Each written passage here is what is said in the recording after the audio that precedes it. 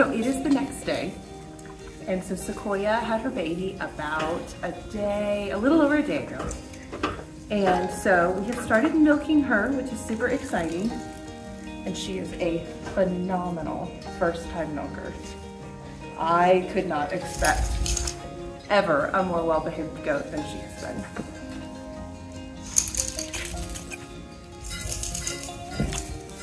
been. Her teats are still pretty small, which is very normal with first timers. Even uh, for a standard goat with uh, a good teat size, that first time, especially with only one baby and only one day in, the teats are gonna start out smaller than they'll be a little bit later.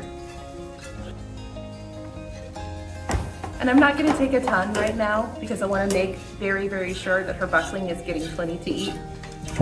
Just enough that we can enjoy a little bit at home and enough that I can keep her milk supply really nice and high.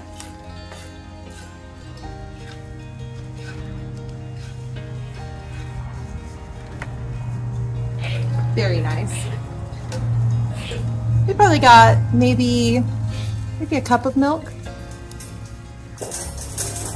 Not bad for a first timer who's only one day fresh. In about a week, her milk should come in all the way, and instead of getting a cup at each milking, we'll probably get more like a quart or even up to a half gallon per milking. She's a full-size Nubian, so I'm expecting pretty good things from her. So Sequoia is being fed more food than she's ever eaten in her life, more grain at least.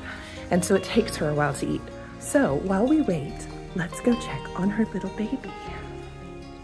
Now, I hope you guys will forgive the terrible lighting. It is a super dark, dreary day, and we are on the far side of the barn from the light, so it's really, really dark over here.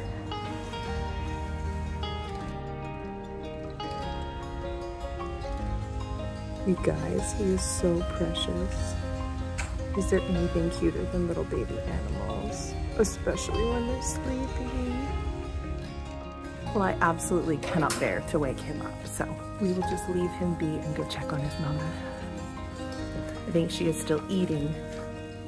So lots of first-time mamas will be really, really concerned about their baby if they're at all apart from them.